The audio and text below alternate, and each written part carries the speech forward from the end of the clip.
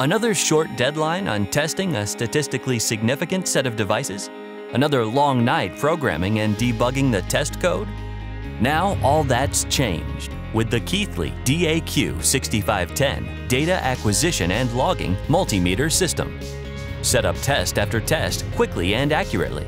Create your test in minutes right on the intuitive 5-inch touchscreen. From one menu screen, you can select the channels, assign a measurement function to each channel, and set the times between measurements and between each scan.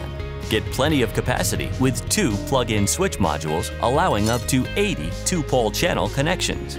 Choose from among 12 plug-in switch modules to perform a wide range of tests. Robust, reliable, mass-terminated connectors on many of the plug-in switch modules will speed up test setup and changeover. Now that you have set up your test with the DAQ6510 and wired up the system, you can execute, monitor the test, and analyze your data right on the instrument, avoid connectivity issues with your PC, and get real-time access to your test data.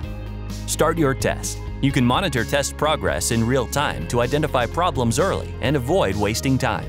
Use the scan status display to view measurements to see any that are out of limits. If the test needs to be stopped, use the DMM feature on the front panel to quickly debug test system issues. Analyze the data on the instrument using the graphical display to plot up to 20 channels or use the statistical screen to obtain analytical information on the data. You can store your data on a USB drive both for a permanent record and for further analysis.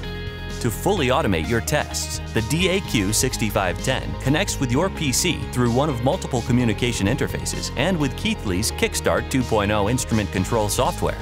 Kickstart 2.0 allows data acquisition control without programming. See how the Keithley DAQ6510 data acquisition and logging multimeter system can simplify your multi-channel testing.